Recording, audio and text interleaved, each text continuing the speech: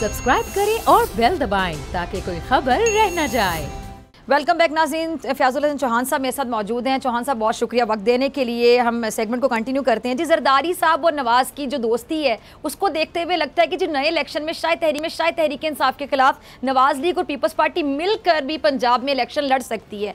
तो आप लोग तैयार हैं? अच्छा सबसे पहले तो मैं जरदारी साहब का शुक्रगुजार हूँ कि उन्होंने जनाब नवाज़ शरीफ सुल्तान मफरूद्दीन और तुगरुल नवाज़ शरीफ साहब का और क्राइम मिनिस्टर का बेगम सफदर अवान का और आल शरीफ के पल्ले कुछ नहीं छोड़ा।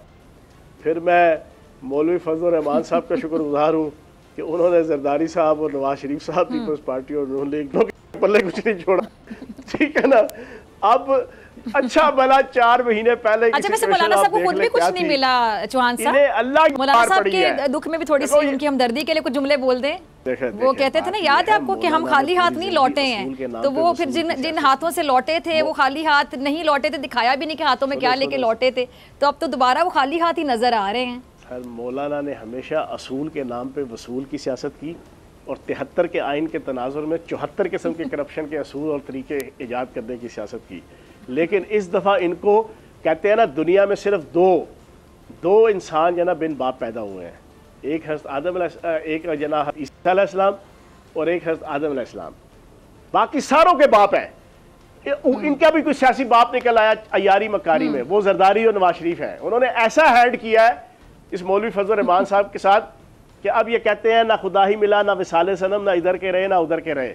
मेरे दिल के टुकड़े हज़ार हुए कोई यहाँ गिरा कोई वहाँ गिरा।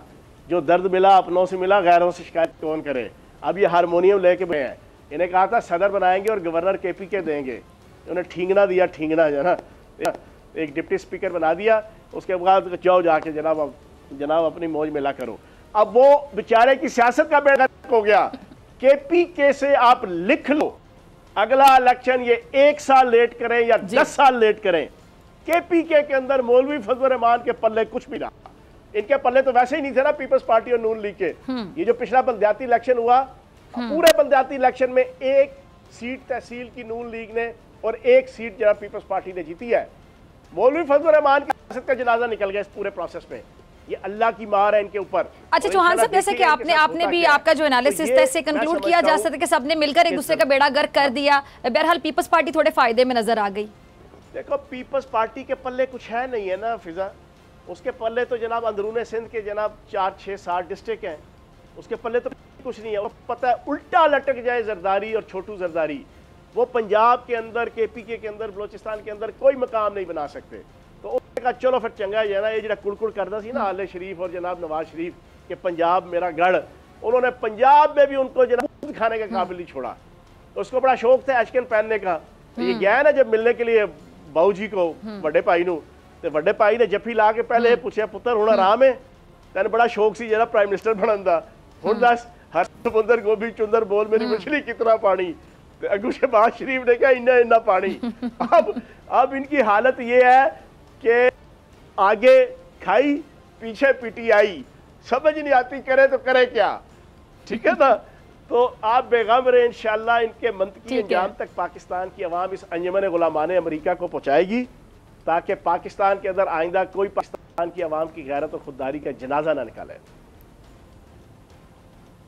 यानी आपने कहा कि आगे खाई और पीछे पीटीआई तो जो इन्होंने किया आप लोगों की हुकूमत को ख़त्म किया बड़ी जल्दी थी महँगाई का नारा लगा के और महँगाई इनके आने के बाद दोबारा और दुगनी होगी ज़्यादा होगी कम तो नहीं हुई। तो आगे अगर खाई है पीछे पीटी है तो पीटे को धक्का देने की मेरे ख्याल से ज़रूरत नहीं खाई में खुद ही छलांग लगा दी। अच्छा मज़ेदार बात सुने छब्बीस मार्च को प्रोग्राम जो सुन रहे हैं सुनने के बाद अभी मेरे फेसबुक पे चले जाएँ 26 मार्च को मेरा लॉक मौजूद है जब दूर दूर तक अभी तहरीक अदम की नाकामी और शहबाज शरीफ के जनाब मिनिस्टर, प्राइम मिनिस्टर बनने का कोई चांस नहीं था।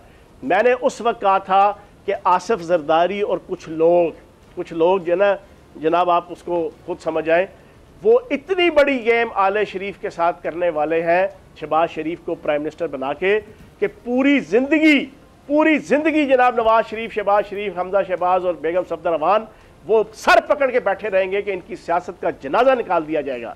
वही हुआ, आज आप देख लें हर आने वाला दिन इनकी सियासी कबर मजीद गहरी से गहरी होती चली जाएगी।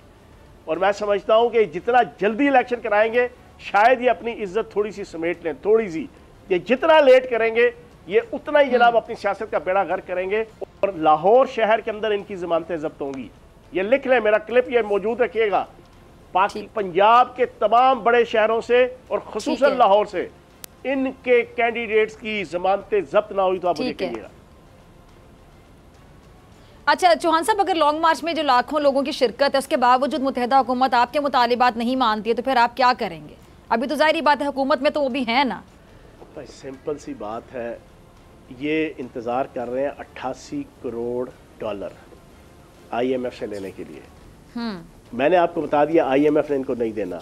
सबको पता है मुख्तर हलकों को भी पता है इनको भी हम्म। पता है। ओ भाई बंदा प्राइम मिनिस्टर है ही क्राइम मिनिस्टर क्राइम मिनिस्टर की कैबिनेट पूरी की पूरी जनाब क्रिमिनल्स के ऊपर मबनी है जिनकी अपनी कोई बेस ही नहीं है।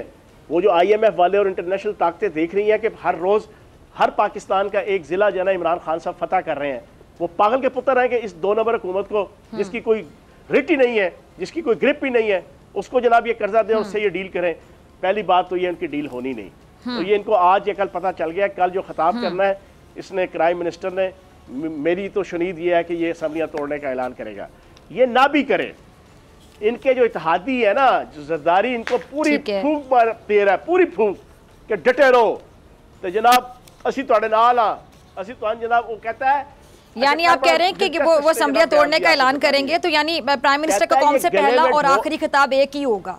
सुने आसिफ जरदारी ने कल बयान दिया कि ये जो में हमने ढोल बांधा बांधा है ये मिलकर बांधा है। तो इसको बजाएँगे भी मिलकर। जनाब आपने ढोल तो जनाब मिलकर बांधा है और बजा लूटमार की सूरत में इकट्ठे ही रहे हैं। लेकिन उस बजाने के पदाश में जो जिल्लत रसवाई जगहसाई का जो नाच है ना वो बेचारी सिर्फ़ नून लीग ही रही है।